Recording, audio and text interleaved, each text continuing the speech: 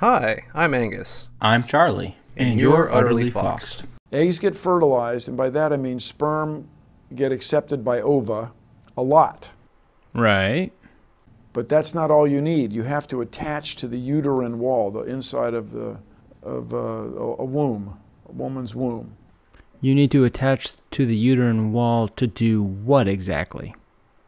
But if you're going to hold that as a standard, that is to say, if you're going to say when an egg is fertilized, it's therefore all, has the same rights as an individual. Then who are you going to? Whom are you going to sue? Whom are you going to imprison?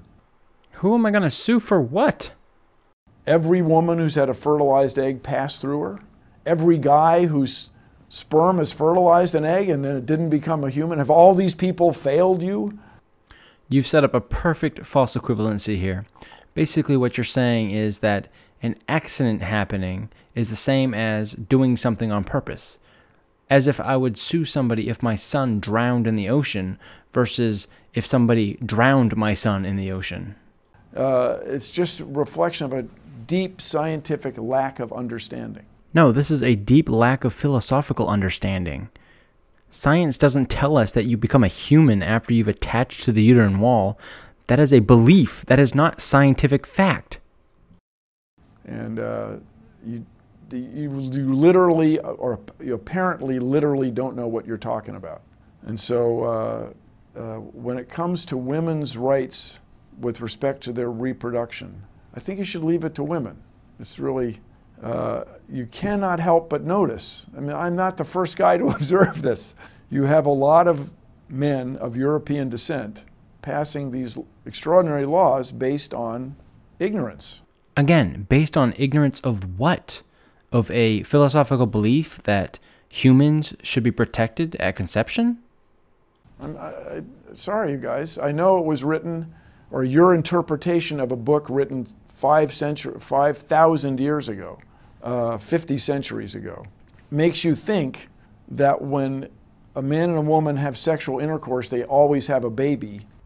What the fuck are you talking about? Nobody believes that. Show me one person who believes that, that is over the age of six years old. That's wrong. And so to pass laws based on that belief is inconsistent with nature. Inconsistent with nature in what way? Tell me some freaking facts. Convince me. I mean, it's hard not to get frustrated with this, everybody. Uh, and I know it, nobody likes abortion. Really? Are you sure of that? Let's ask a couple people. Hey, Lena Dunham, do you have any opinions? I still haven't had an abortion, but I wish I had. Let's check out Twitter. Does anybody have anything to say about this?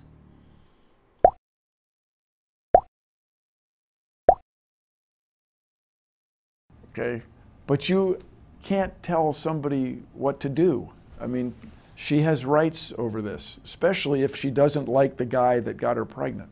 Like, she doesn't want anything to do with your genes. Get over it, especially if she were raped and all this. So uh, it's very frustrating on the, on the outside, on the other side. Uh, we have so many more important things to be dealing with. We have so many more problems. To squander resources on this argument based on bad science, on just lack of understanding. It's very frustrating. So show us the science that proves that humanity doesn't start at conception. You wouldn't know how big a human egg was if it weren't for microscopes, if it weren't for scientists who are medical researchers looking diligently. You wouldn't know the process. You wouldn't have that shot, the famous shot or shots where the sperm are bumping up against the egg. You wouldn't have that without science. So then to claim that you know the next step when you obviously don't is trouble. When you, okay, let me do that again. Let me just pull back. At some point, we have to respect the facts. I do respect the facts, but you haven't provided any of them. You said we had microscopes. Well, yeah, we have microscopes. We see the process. Within 24 hours of the egg being fertilized, cells start to divide. It takes three to four days after that for the egg to attach to the uterus. Now, if this was Mars and we found a single cell organism, we would say that we discovered life on Mars. And you're trying to convince me that a dividing cell is not life. Recommending or insisting on abstinence has been completely ineffective. Actually, there was a study a few years ago that NPR talked about that showed that it was pretty effective. I'll link to it in the description below. Just being objective here. Uh, closing abortion clinics, closing, uh, not getting, giving women access to birth control has not been an effective way to lead to healthier societies. This, I mean, I think we all know that. And I understand that you have deeply held beliefs and you want to, and it really is ultimately out of respect for people, in this case, your perception of unborn people. The perception that innocent life should be protected and not murdered. Right? I understand that. But I really encourage you to look at the facts. And again, what are the facts?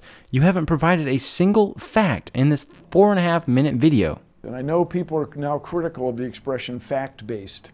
But what's wrong with that? well, maybe people are critical of it because fact based doesn't mean anything anymore. You're not actually presenting any facts in this supposed fact based debate. So I just really encourage you to not tell women what to do and not pursue these laws that really are in nobody's best interest. Yeah, except for, you know, the innocent child that gets murdered by his mom. Just really be objective about this. We have other problems to solve, everybody. But that's just the thing, isn't it? It's only objective if it agrees with you. The objective fact is we don't know when human life begins. Some people believe that it begins at conception.